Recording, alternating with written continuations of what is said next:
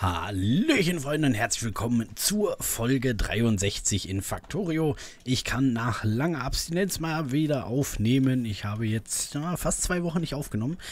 Was daran lag, dass mir die Weisheitszähne entnommen wurden. Zumindest zwei von drei, die raus sollen. Also einer wird äh, irgendwann noch kommen. Ich freue mich jetzt schon. Ähm, ich habe in der Zwischenzeit, wo ich nicht aufnehmen konnte, mal wieder ein bisschen weitergemacht, ja. Also äh, nach Folge 62 ist dann wieder ein bisschen was passiert und was, das werde ich euch jetzt zeigen. Denn wir haben ja letzte Folge festgestellt, dass wir Eisenmangel haben. Und wir haben jetzt festgestellt, dass wir keinen mehr haben. Denn es kommt Eisen an, aber auch nur so semi-gut, weil ich äh, ein Eisenfeld äh, mir besorgt habe. Und zwar dieses hier, was ganze 6,8 Millionen fast. Ähm, was noch ein bisschen mehr hatte, aber schon einiges in die Puffer gelaufen ist. Ähm, ich habe nur leider mit dem Bau einen äh, direkten Zugstau verursacht, den es jetzt gilt, mit äh, etwaigen Signalen oder ähnliches zu lösen. Ich werde mal schauen, ob ich das hinbekomme. Ich glaube aber, ich weiß schon, woran es liegen könnte. Ähm, wir werden mal dahin flitzen und ich werde mal gucken, ob ich das hinkriege. Nebenbei werfen wir hier noch irgendeine Forschung an. Dann schauen wir mal. Warte, wir können eigentlich mit dem Zug fahren, ne? Wir fahren mit dem Zug. Äh, was habe ich sonst so gemacht? Ich glaube, ich habe hier noch ein bisschen dran rumgebastelt. Ähm, weil das hier nicht mehr ordentlich lief, weil hier alles voll war und die Flares, Fire Flare Sticks oder wie die Dinger heißen, nicht hinterher kamen. Ähm, so hier und da so ein bisschen rumgebastelt. Aber da werden wir mit Sicherheit noch mehr finden. Ich werde es dann immer zwischendrin erzählen, was ich gemacht habe, wenn es mir wieder einfällt. So, jetzt ist natürlich hier ein Problem. Aber welche? So, der hier möchte in den Bahnhof fahren. Der kann nicht fahren, weil dieser Streckenabschnitt gesperrt ist. Weil... Das ist jetzt die Frage. Der hier... Aha, der steht hier, der kann nicht weiter, weil der hier steht. Weil der hier steht, ist dieser Abschnitt gesperrt. Dadurch steht der hier. Und weil der hier steht, sich aber schon diesen reserviert hat, steht der hier.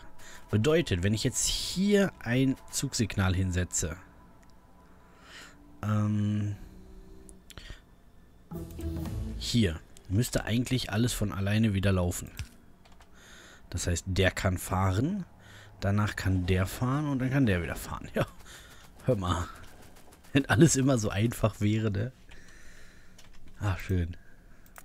Also irgendwann steigt man dann doch dahinter, äh, wie die ganze Materie dann doch so funktioniert.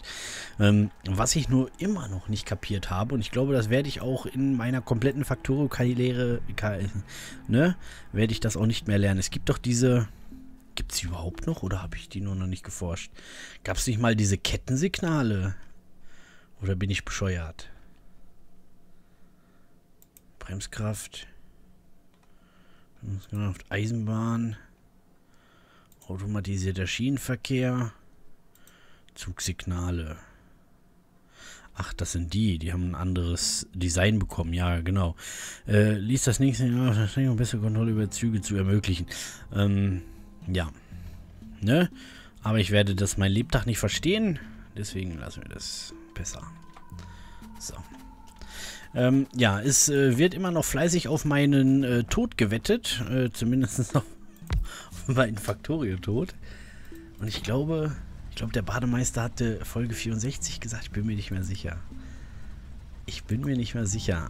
Das würde allerdings bedeuten, dass ich nur noch zwei Folgen lebe. Ich habe es tatsächlich jetzt bis Folge 63 geschafft, nicht einmal vom Zug überfahren zu werden. Noch, oder wurde ich schon mal... Ich, nee, ich wurde noch nicht überfahren. Ähm, noch nicht mal zwischen den Aufnahmen, ja, wo ich so ein bisschen rumgebastelt habe. Es war einmal sehr, sehr knapp sehr, sehr knapp. Äh, da hatte ich, glaube ich, äh, dieses Feld hier angeschlossen und bin hier einfach so, ich laufe hier mal runter und dann war ich, glaube ich, genau hier. Da kam der Zug so angeballert, wie gerade. Also es war, war sehr hart an der Grenze. Sehr hart an der Grenze. So, jetzt wollen wir noch mal kurz gucken. Ich äh, kann mich nur an einen Kommentar entsinnen.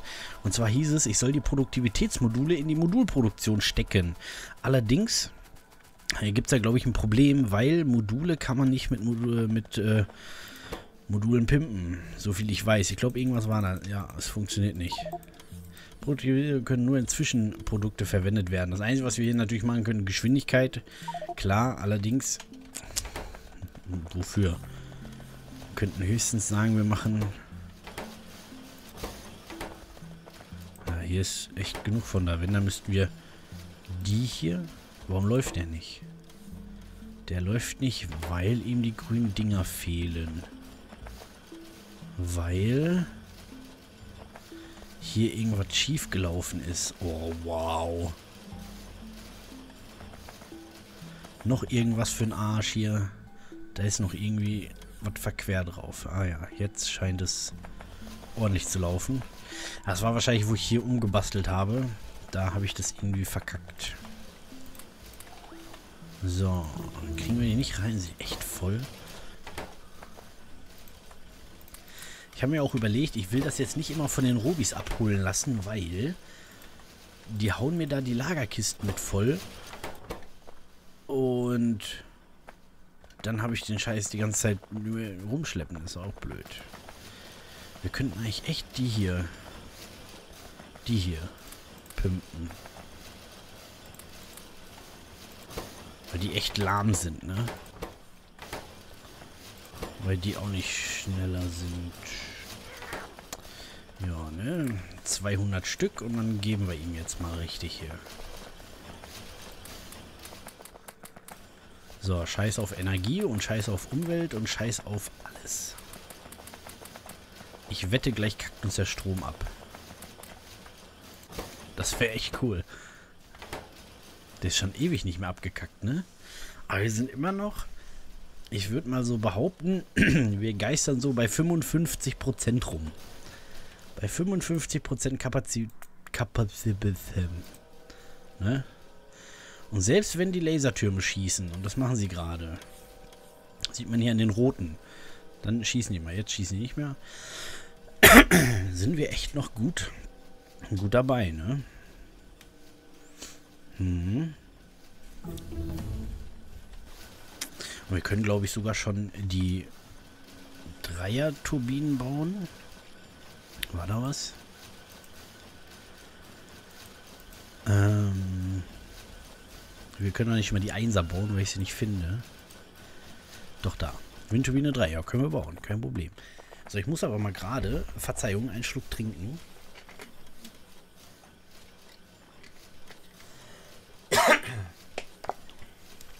Ich habe einen sehr trockenen Hals. Das ist nicht cool. Aber ich kann es nicht ändern.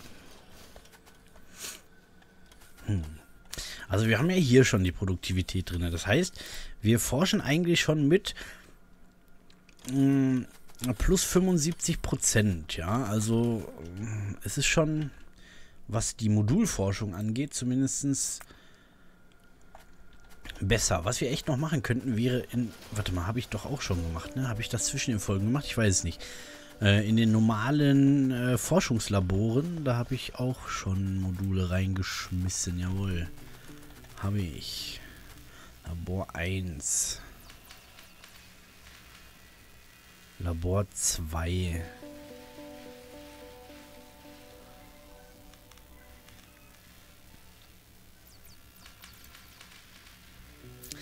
Labor 1 und Labor 2. Wir haben hier überall Labor 1. Wenn ich die jetzt mal upgrade, dann müsste ich doch eigentlich... Ähm ich will mal gerade gucken, ob die schneller sind. Aber normal sind, müssten die doch schneller sein. Vor allem, ich kann, glaube ich, mehr Module reinstecken als nur zwei, ne? Ich meine, wir haben jetzt schon 50% Produktivität mehr. Das heißt, wir hätten quasi 50% mehr Labore. Wie viel haben wir überhaupt? 20, 25, 30, 34 Stück. So, was haben wir hier? Nitinol-Platten. Wow. Was alles gibt. So, da ist das Labor. Ich will mal kurz gucken. So, das hat eine Geschwindigkeit plus 140 Prozent. Jetzt frage ich mich gerade, ist das plus 140 oder sind das insgesamt 140? Weil, ach, der hat auch 140. Geschwindigkeit plus 140. Geschwindigkeit plus 140. Warte mal. Ich baue das mal hier so probehalber hin. So. Ja gut, wir haben den Vor... Ne, wir können auch hier die weißen Wissenschaftspakete reinmachen. Hm. Naja, wir haben halt mehr Plätze für Module, ne? So, jetzt forschen. Mal vergleichen. Die Geschwindigkeit. Dumm. Und die Geschwindigkeit. Dann sehe ich einen deutlichen Unterschied. Muss ich schon sagen. Deswegen werden wir das Ding jetzt mal upgraden. Ich glaube, das macht Sinn. so, wir holen uns mal hier so eine Handvoll lila äh, Greifarmen. Weil die brauchen wir dafür. So, jetzt frage ich mich, warum... Ach so. Warte mal, wo ist es denn? Da, Labor 2. Labor 2. Ich meine, klar, die brauchen Labore zum... Aber jetzt echt so viel... Holz. Holz.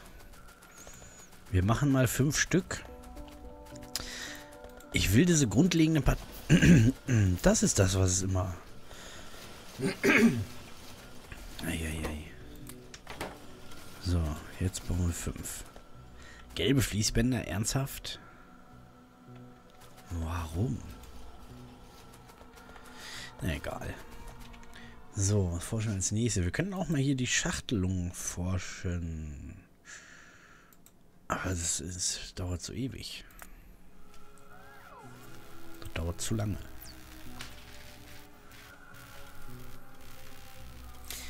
Warum kommt das ins Stocken? Kommt das ins Stocken, wenn die da was rausnehmen? Ja, ne? Aber auch nur kurz immer, oder?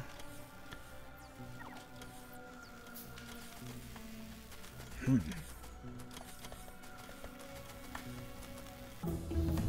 Wo habe ich meine Module? Da. So. Wir müssen noch so viel forschen. So, dann gucken wir erstmal. Ähm, gucken, ob das jetzt hier unten... Ich äh, gehe mal ganz, ganz schwer davon aus, dass hier jetzt irgendwas abkacken wird. Wahrscheinlich hier diese Produkte, oder? Nee. Dadurch, dass sie jetzt schneller sind, die arbeiten jetzt gar nicht mehr, weil... Weil... Den fehlt Lötze... Ach nee, die sind voll. Sind die alle voll? Die sind voll. Und die hier? Die lagern sich auch. Und die hier? Die arbeiten, aber... Okay. Okay. So, Labor 2.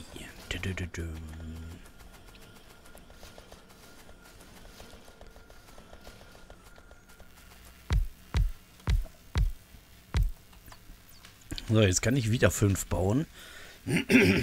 Dann baue ich jetzt immer nur die 5, die ich, äh, ähm, ja, genau die meine ich. Damit ich nicht zu viel, brauche ich noch eins.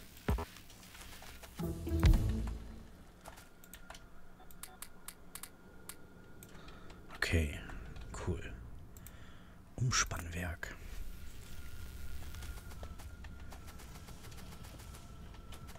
Hier kacken auch irgendwie die Fläschchen so langsam ab, ne? Das ist, weil die zu lahm sind. Weil wir hier ruhig auch mal umsteigen könnten. Und das auch zu lahm ist. Und dann liegt es an den Fließbändern, oder?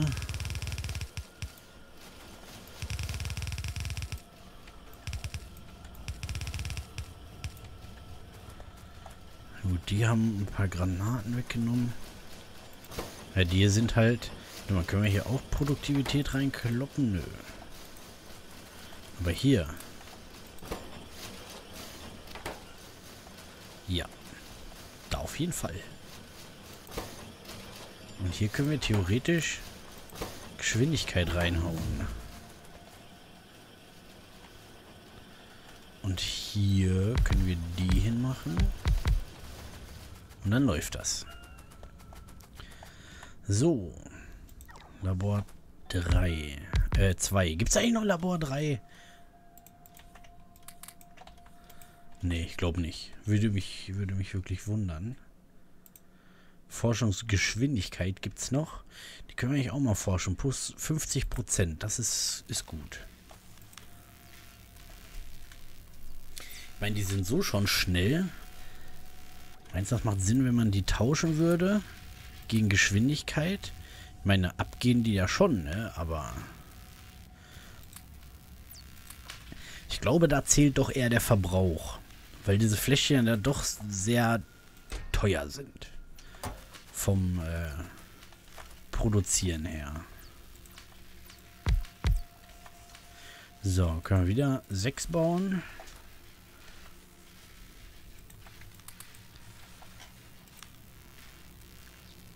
Ja, das macht auf jeden Fall Sinn, denke ich. So, hier scheint es, als würde das Eisen... Ne, es reicht so gerade. Ja gut, das wird sich jetzt eh hochstauen, hier die ganzen... Äh, die Tower, dann passt das. Dann passt das wieder.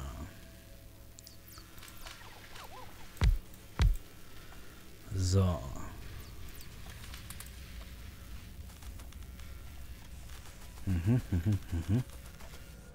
Okay, haben wir die. Eigentlich würde es echt Sinn machen, wenn wir hier überall die Dinger voll klatschen mit Produktivität, ne? Da können wir so den Verbrauch runter, runtertreiben. Jetzt, jetzt rechnen wir mal so ganz stupide, ja. Wir fangen mal einfach bei diesem Produktionsprozess an. Wir machen jetzt die Hälfte brauchen wir nur noch. Wir brauchen nur noch die Hälfte an Material, um den gleichen Wert rauszubekommen. So, dann bräuchten wir hier nur noch ein Viertel, um denselben Wert rauszubekommen. Das heißt, mit, äh, ich sag mal nur, ich meine, klar, wir müssten jetzt nicht nur bei den Fluggestellen, äh, sondern auch hier bei äh, Fließbändern und den anderen Dingern das machen. Aber theoretisch haben wir das dann somit geviertelt. Ja, den, den äh, Verbrauch. Hier zum Beispiel können wir das gar nicht machen, weil das fertige Produkte sind. Hier können wir es machen. Theoretisch können wir es hier auch, aber das sind auch fertige Brote anscheinend. Ähm, aber wir könnten das ja in den Vorgänger-Dingern äh, da machen, ne? Wir lassen die aber erstmal raus hier. Obwohl, hier können wir sie eigentlich drin lassen. Aber hier vorne nehmen wir sie raus. Weil das sind jetzt nicht unsere Maschinen, die äh, zwangsläufig den meisten Verbrauch haben. Da gibt es, glaube ich, andere. So, jetzt bauen wir mal eben wieder ein paar Labore. 16. So. Jetzt machen wir erstmal das hier fertig. Das ist schon wichtig. Wenn die Forschung rennt, dann, äh, dann ist das gut. Oh, hier gibt es Lichtbogenofen 3. Das ist natürlich auch nice. Wird natürlich jetzt auch immer schneller fertig. Mhm, mhm, mhm. mhm, mhm. So, zack. Als weiter forschen. Ich frage mich, ob irgendwann eins von denen hier abkackt, aber die scheinen echt gut zu laufen, ne? Ich glaube, die Lilanen sind so ein bisschen hinterher, aber... Ne, können eigentlich nicht. Die Robis sind mit Liefern hinterher. So sieht es nämlich aus. So sieht das aus.